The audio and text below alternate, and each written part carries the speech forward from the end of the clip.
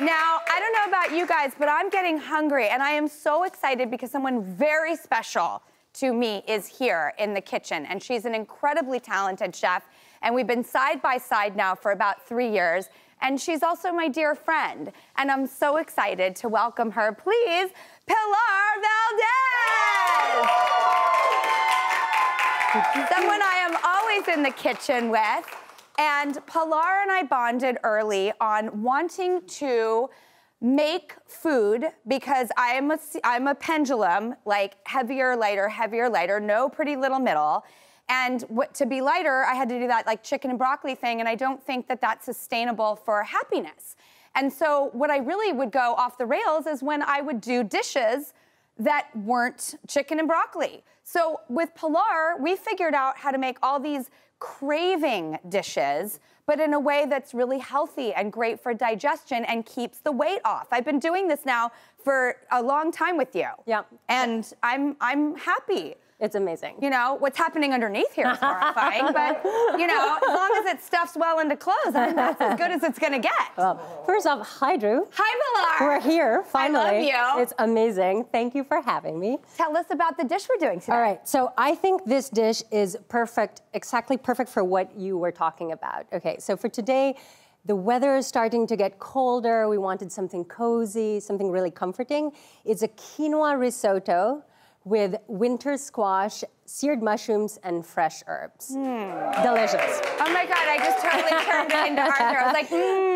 So, the kitchen um, cat. The risotto is traditionally made with rice, right? I'm from the Philippines. Rice is queen. I'm, I'm all about rice. But sometimes we have to make adjustments in our diet. Yep. And quinoa is the most amazing substitute in this dish because it's packed with protein, it's gluten-free, it's not a grain, it's actually a seed. Yes. Um, and it has tons of vitamins. It's really easy. It's a great thing to have in your pantry. So shall we jump in? Yes, we shall. Okay, so the first thing you're gonna do is actually roast your squash. For okay. this recipe, I like stuff, the thin-skinned squash, hard to say, um, delicata, honey nut. And the reason why I recommend those squashes is because when you roast them, you don't have to peel them afterwards. You can use them and eat them skin and all. And you're gonna roast them at like 400 for about 20?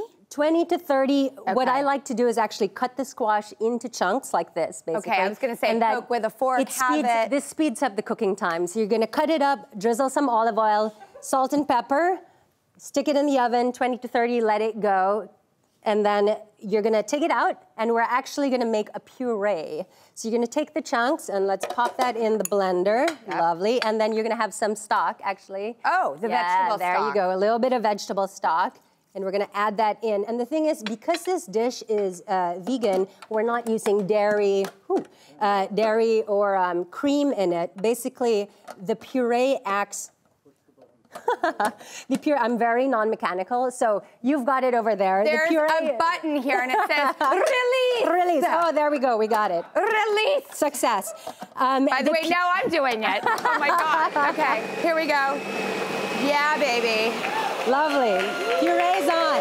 I love a blender. It's so good. I know. I love like, I love a hand blender. It's so, yeah, they're really useful tools. So basically, the puree is going to act as um, that creaminess and richness in a dish, right? In the risotto, you think of risotto, it's like has great movement, it has all these creaminess. This one has no um, dairy in it. I know I'm also struggling. Okay, to, this this but one. Luckily, there's no release button. We've twist, twist it, twist it. There you go. Oh, you mother! Ah, yes. Take that! Okay, so you're, you're gonna want it a really smooth and creamy consistency, basically. So that's what the puree looks like. This is representing Absolutely. the puree. So in the meanwhile, we had some of our quinoa going. You're good, you're good. I put it in. Fold it in, fold okay. it in, keep mixing. So the quinoa, basically, what I like to do is I start toasting it first in a dry skillet. It adds this really nice nuttiness to the dish. I have to say, I've not seen people do that. Yeah, and it's really lovely. 45 seconds in a hot, dry pan. Dry. And dry. That's the key. Don't That's put the, the oil in part. No, no oil, okay. no nothing. And then you're gonna add some liquid into that. We use vegetable stock and you're gonna bring that to a boil and then turn it down to simmer and you're gonna mix it and stir it and cook it for about 18 minutes, okay. basically. And you don't want it crunchy and you don't you, want it... You definitely do not want it crunchy. You want it cooked you I want think it that's looser. a term in the culinary world. Absolutely. Perfect. Um, so you're gonna bring that down to a simmer, and then when it's cooked fully through, about 18 minutes, it's gonna have a looser consistency. So if you're thinking risotto, you know that sort of movement. Well, and here's then, the thing about risotto is it's made with rice, and Yes. rice usually I have to choose after I enjoy it. Do I want it on the inner thigh or the outer thigh? Well, you don't have to. You don't have to choose that with this dish No. because it's it's gluten free, it's vegan, it's great. So we're gonna take our puree You're going to take and your puree, which I've represented, fold folding it it in, in. basically. Exactly. It does look like creamy cheese. I mean, I love a risotto, but I just can't.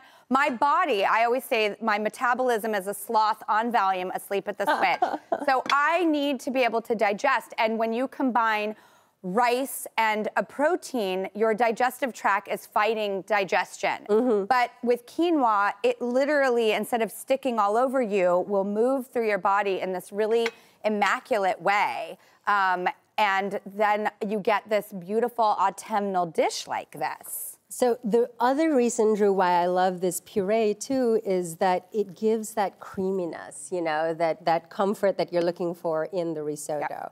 Um, it We're feels like plate. it feels like a hug in a bowl, is what I like to say, which is I really love nice. a hug in a bowl, Pilar. I want a hug in a bowl. So if you're feeling a little fancy when you're plating, you can do little dollops of the puree if you still have some. If you don't, no worries. Am I gonna uh, start arranging these? Yes, please the plate? arrange arrange away. Um, Now, and these are trumpet mushrooms. They are trumpet mushrooms. I love mushrooms. They're one of my most favorite things. And the reason why I really like trumpet mushrooms too is that they have this very meaty uh, texture.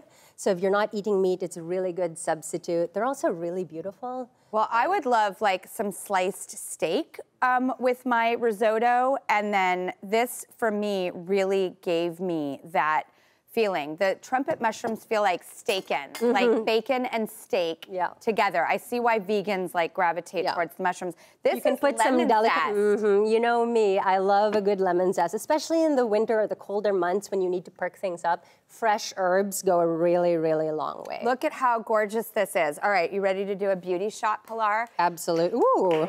I'll tell you another thing I love about this dish is that most risottos do not keep well. No. I mean quinoa. Yeah. This keeps really well. I've really eaten it the next day and it's delightful. And you can also use these ingredients to fold into a frittata, you were saying. Absolutely. It's it's I feel like it's a dish that keeps on giving. You can reheat it in a pan like with just a basic slick of water, bring to a boil, toss it all in a pan and it just re-steams and revives I call that thing. reconstitution. There you go. Well, thank you so much, Pilar. I love you. I love the life I get to live because of you. I've learned so much with you and from you.